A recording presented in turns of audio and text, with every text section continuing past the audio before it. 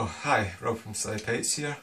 I want to do a quick video on the topic of arm spans and how you can measure your own arm span. Find a wall in your house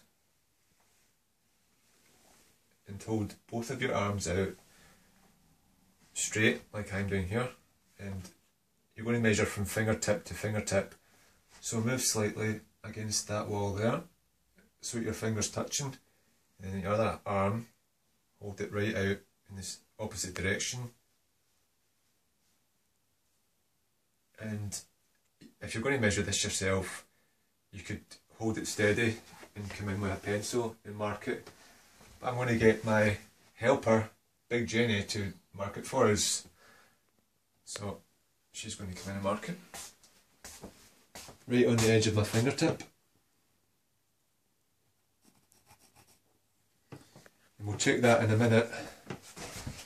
I was going to say generally our arm spans are between a ratio of 1.01 or 1.02 to 1. So if you're 6 foot tall, you might have an arm span of 6 foot 1 to 6 foot 2. But if you're in the NBA for instance, if you play basketball, generally the arm span is more like 1.06 to 1. So you could be 6 foot tall and have an arm span between six foot four and six foot five. So we know that Big Rob is 173 centimetres, so how tall do you think his arm span is? Well, let's find out. So using your tape measure, I'll push it right against the wall.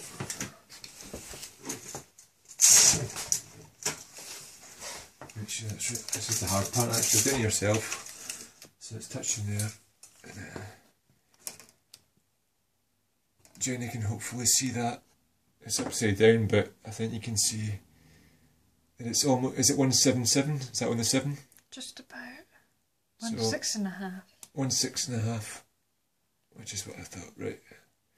So that's 100. And, so my arm span is 176.5 centimetres and I'm 173, which means it's a ratio of like 1.02 to 1. So not quite a, a basketball sized arm span, but a pretty typical arm span. So, thanks for watching, and keep walking tall like Rob Paul.